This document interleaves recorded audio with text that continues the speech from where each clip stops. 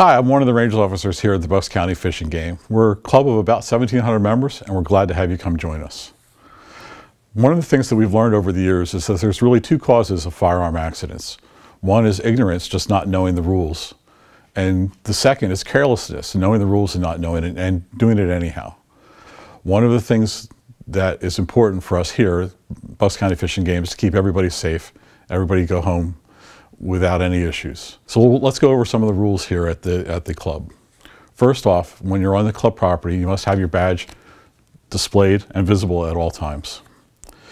There's no smoking in the clubhouse, the trap house, or any of the ranges where black powder is being used. Open carry is not allowed on the club grounds at all. You can uh, carry concealed, but drawing from a holster or any other point of concealment is not allowed. So let's go take a tour of some of our facility. One of the most popular activities we have here at the club is trap. The trap is open to the public and is held on Tuesdays, Saturdays, and Sundays from 11 a.m. to 3 p.m. Uh, we also have a five stand sporting clays, which is behind me. If you've not shot five stand, it is a blast just to even watch. Tr the targets are coming from all directions, from behind you, straight up in the air, even rolling along the ground uh, like a like a rabbit would run.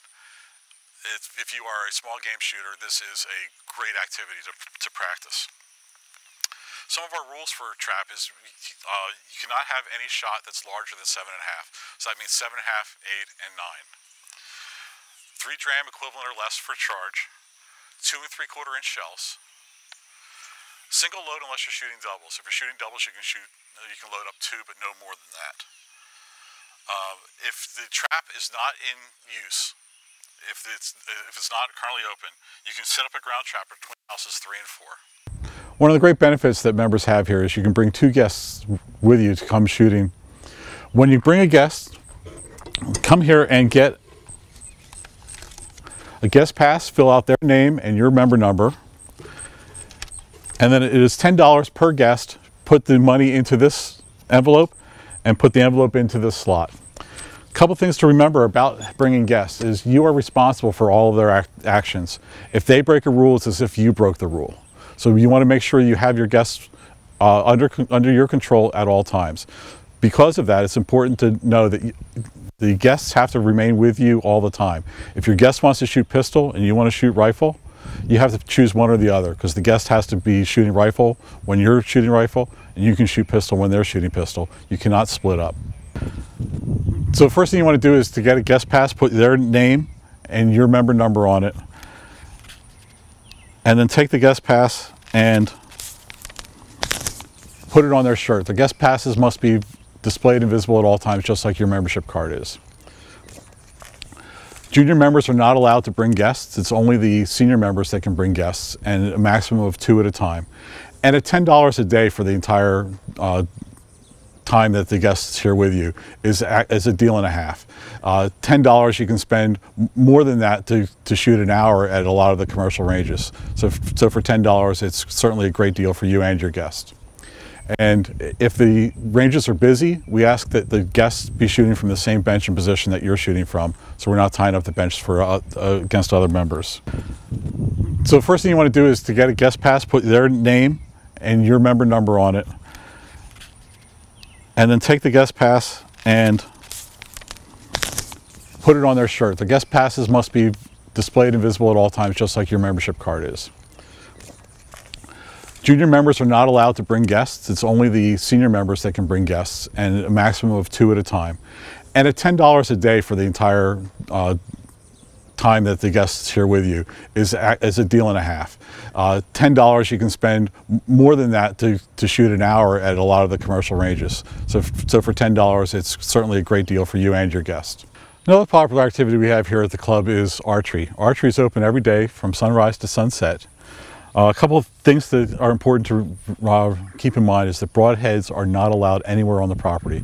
You know, shoot uh, the field arrows only. Uh, and always shoot in your in your lane, just like you, on the rifle range. No cross shooting is allowed. When you come to the club and want to go down the range, you need to take your membership card and put it against the reader to open up the gate. Reminder is that no guest cars are allowed beyond this point.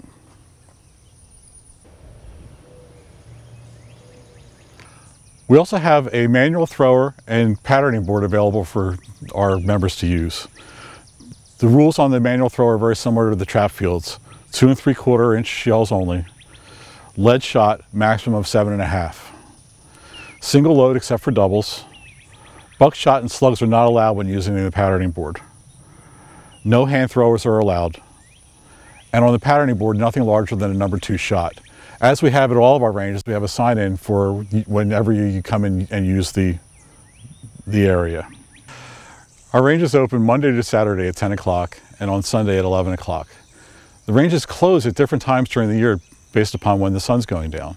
You can always tell what time the ranges are going to close displayed on the clock here, at the clock at the entrance to the uh, ranges, as well as at the sign-in table at the 100-yard range. The ranges are closed three days a year. They're closed on New Year's Day, Easter Sunday, and Christmas Day. We also close early at 3 o'clock four days a year. Memorial Day, 4th of July, Labor Day, and Thanksgiving. Our range is closed for police training twice a year, two days each time. You'll know that that's happening because it will be displayed here at the entrance to the 100 yard range as well as on the uh, club website. Just a reminder that your badge must be displayed at all times when you're using the range. If you have a guest with you, their badge must be displayed uh, also, and they guests must remain with you at, whenever you're on the range.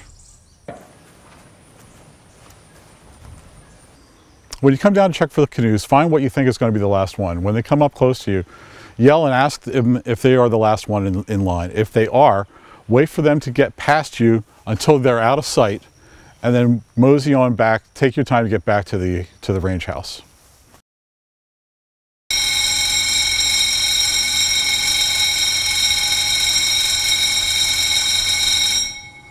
That bell lets us know that there's a canoe or a kayaker in the area. We are surrounded on three sides by the Neshaminy Creek, and we have a lot of times, especially in the spring or after a big rain, a lot of canoers will come by. And the, the creek goes right behind our ranges. So we have a bell set up down there that they can ring and let us know that they're coming. Whenever that bell rings, it's most important that we stop shooting immediately. Put them down and step away. This is very critical. This is a, a serious safety concern.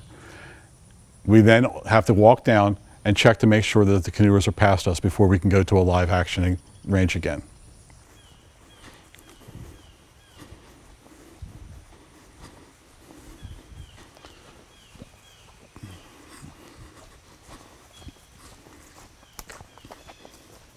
All right, so we have some common rules at all of our ranges here. We can only use paper targets.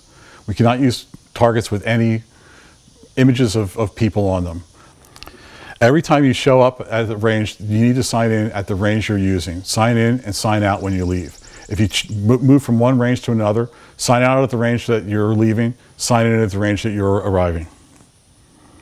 You also must sign in your guests. Your guests will sign in using your member ID. We use a buzzer and flag system to show the state of the range at all times. When you arrive, if you're the first to arrive, take the ceasefire flag, this yellow and black flag, and put it on display.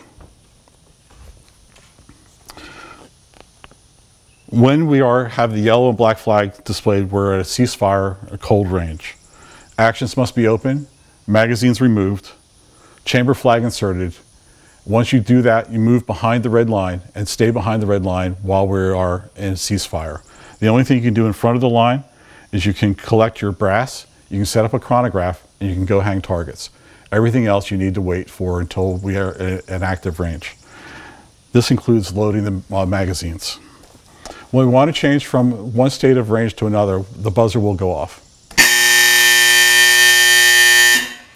When that occurs, all the flags need to be changed simultaneously. So hold your flag and wait for any of the other active ranges to be ready to change flags. At that point, we can change flags at the same time to go from, in this case, a ceasefire to an active fire state. When we're on active fire, the range is hot. Nobody, no cross firing is allowed. So if you go down and you set up your targets in on board eight and you come in and you're uh, guns are set up at table seven, you have a choice of either moving your target or moving your guns. You, you cannot shoot from table seven to targets eight. You must shoot in the lane that you are, are using. When we're going back from a ceasefire to a live fire range, the range is closest to the 100 yard range is the one that will determine when we're going to go live. The reason for that is because this is the only range that has view of all of the other targets. The other ranges are blocked by the, the foliage from seeing the uh, left, the rightmost targets on the 100 yard range. When the range is active, as I said, nobody is allowed in front of the, of the firing line. No rapid firing is allowed. We define rapid fire as needing to wait two seconds between shots. Eye and ear protection must be used at all times. At all times, firearms must be pointed downrange. Do not have them pointing in any other direction. You can only handle firearms when the range is active. So if you are ready to go home and we're in a ceasefire, you have to wait until we go back to a live fire before you can pack any of your firearms and leave. When we're under a ceasefire, everybody must be behind the red line. Nobody is allowed in front of the firing line except to hang targets, set up a chronograph, and police brass. No touching of firearms or magazines is allowed during ceasefire. Your actions must be open, your magazines out, and your chamber flag in. Chamber flags are available for your use at each of our ranges.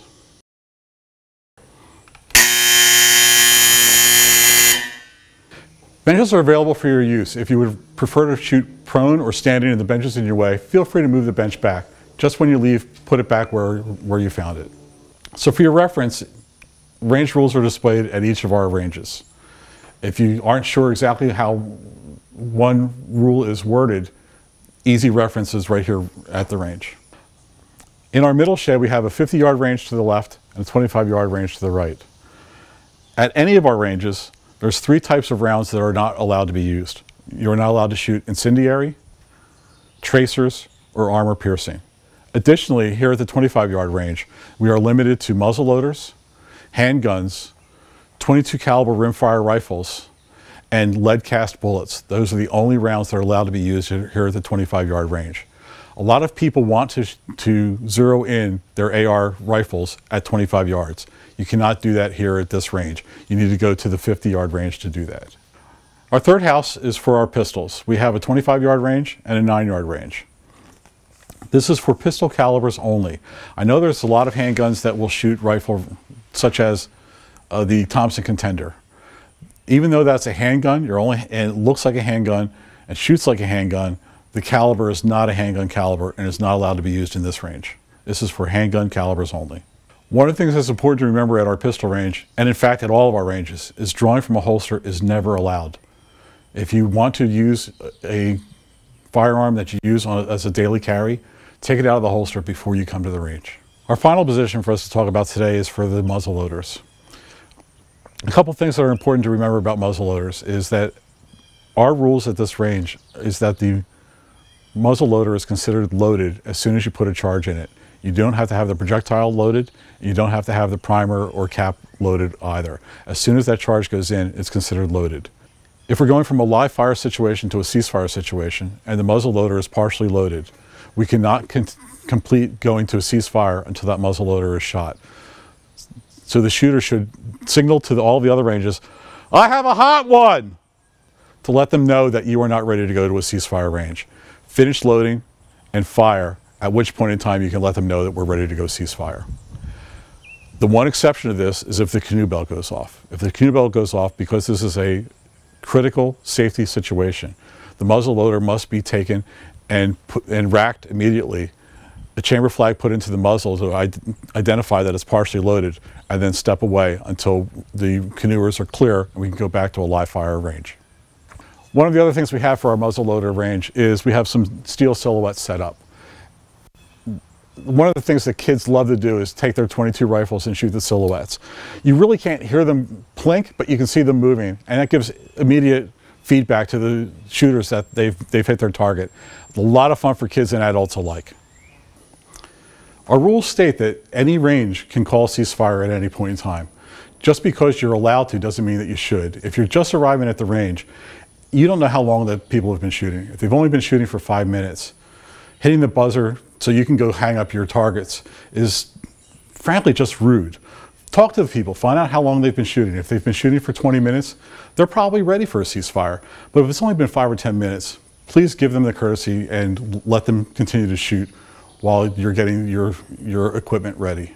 The Big exception to this is during the CMP matches. When a CMP match is, is being held, they have full control of the range going from live fire to ceasefire and back again.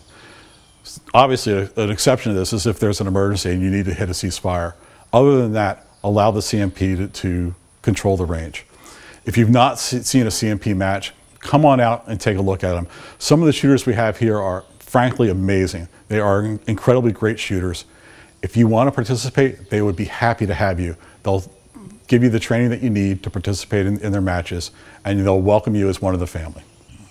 Here at the end of our driveway is our parking lot for the ranges. Vehicles are not permitted past this sign. That doesn't mean that you can't go beyond. What a lot of people like to do is park here and walk back to the creek and go fishing. It's a, it's a popular thing for a lot of our members to do. One thing to keep in mind though is you do not want to go left of the canoe sign because that will bring you back behind our ranges and that would not be a good thing to do. So we've given you a nice overview of all of our grounds here and have talked a lot about the rules. But let's make sure you understand each of the rules and I'll read them to you now. Any unauthorized use or destruction of club property is strictly prohibited and may result in criminal prosecution and financial restitution. The use of or being under the influence of alcohol, drugs, or sedating medications are prohibited on all ranges. Smoking is prohibited in the clubhouse, the trap house, or any range using black powder. Concealed carry is permitted in accordance with Pennsylvania state laws. However, open carry of firearms is prohibited on club property, Violation of this rule will result in a permanent loss of membership. The shooting hours are Monday through Saturday, 10 a.m. until closing. Sunday from 11 a.m. until closing. Closing times are, will be posted on the time clocks. Archery is available from sunrise to sunset. The ranges are closed three days a year Christmas Day, New Year's Day, and Easter Sunday. Ranges will close early four days a year at 3 p.m. on Memorial Day, Independence Day, Labor Day, and Thanksgiving Day. Normally, two days in the spring and two days in the fall, police training will be taking place on the ranges. During this time, our ranges will be closed. The dates will be posted at the 100 yard range shed and on club websites and calendar. We use a flag and buzzer system to show the state of the range. The yellow and black striped flag designates a ceasefire. Open actions, unload and remove magazines, and stay behind the red line. Do not stand or sit at the benches during a ceasefire. You may only hang targets, police brass, and set up chronographs. Handling of firearms, ammunition, or magazines is prohibited during a ceasefire. Red flag designates that the range is in operation for live fire. The range is hot. No one will move forward of the, far, of the firing line. The buzzer and strobe light system is used to alert all shooters of a pending change to a ceasefire or live fire condition. Upon sounding of the buzzer during a live fire, all shooting must stop immediately and all firearms must be made clear and safe. The possible exception is muzzleloaders who must discharge their firearm before the range is considered safe. Once everyone has returned from downrange and all ranges agree that they are clear to resume live fire, the buzzer is sounded and the flags are changed. Firing may resume. The 100 yard range, if manned, shall make the final decision to resume live fire. A bell signal indicates that a canoeist is coming down the creek. Ceasefire is sounded. The line is made safe and flags are changed. Someone must go down past the 100 yard berm and verify that the canoeist has passed through the area to ensure their safety before returning to live fire. Upon entering the club grounds, all members must clearly wear their membership cards so they are visible at all times. Guests must also have their guest pass visible. Eye and ear protection must be worn when shooting. Rapid fire is not permitted on any range except where expressly authorized during club affiliated matches. Rapid fire is defined as firing consecutive shots faster than every two seconds. Only two guests are permitted with any adult member at one time. Junior members may not bring a guest. The member must fill out a guest pass and deposit the $10 guest fee in the box provided. Club members are responsible for their guest actions at all times. Guests are to remain with the member who signed them in at all times. No fee is required for active military guests or active law enforcement. You must sign in at the proper station before using any firearm, archery, or shotgun range. This includes guests who must sign in using the member's uh, ID badge. Any rifle, pistol, or black powder range can call a ceasefire. The 100 yard range or the closest active range to the 100 yard range will be responsible put the ranges back in live fire operation. When a ceasefire is called, everyone must immediately stop shooting. All actions are opened. Remove all cartridges, remove all magazines, and insert an empty chamber flag indicator. Two magazines may remain loaded, but the chamber must be emptied, the action open, and the empty chamber flag inserted. All guns must be pointed safely downrange when being fired or handled at a shooting position. Handling a firearm during a ceasefire is strictly prohibited and constitutes a serious safety violation. If entering the range during a ceasefire, leave your firearm in the case. If not in a case, place the firearm in a gun rack. When making preparations for departing the range and ultimately exiting, do so only during live fire when the handling of firearms is permissible. At no time is a concealed firearm to be drawn from a holster or any other point of concealment and fired on the range. A black powder shooter who still has a loaded firearm when a ceasefire is called must alert all ranges that they have a hot gun and be given time to clear it. Once they are clear, the ceasefire flag can be posted and the range declared safe. In the event of a canoeist creek alarm, the firearm cannot be cleared for safety reasons. The firearm must be racked and marked with the chamber flag and the muzzle as hot until the range is returned to a live fire condition. Targets containing human images may not be displayed on the range. Silhouette targets, however, are permissible. Only paper targets are to be used for shooting purposes, no breakable targets. Pay attention to posted ammo restrictions at individual ranges. No buckshot is allowed anywhere on the property. No cross firing. You must shoot in the lane you are positioned in. When no one else is using the range you are occupying and you are leaving, remove that flag and install it in the holder located at the ground level. For black powder, all muzzleloaders can only be primed or capped at the firing line. No loaded guns at the loading bench under a ceasefire flag. No wolfing in the barrel, that's blowing down the barrel. 22 caliber rimfire rifles may be used at the 50 yard muzzleloader range. For archery, all shooting must be done on established ranges. Only shooting your range, no cross firing. All shooting will cease when a person is downrange. No backtracking through the 3D course. No broadhead arrows are allowed on the club property. For trap, the use of a hand thrower is prohibited. A mounted thrower is installed in the fenced in area for your use. You must shoot from this area within the upright posts. All shells must be no larger than two and three quarter inches and contain lead shot only, nothing larger than seven and a half shot. All guns must be loaded singularly unless shooting doubles, then two shells may be loaded.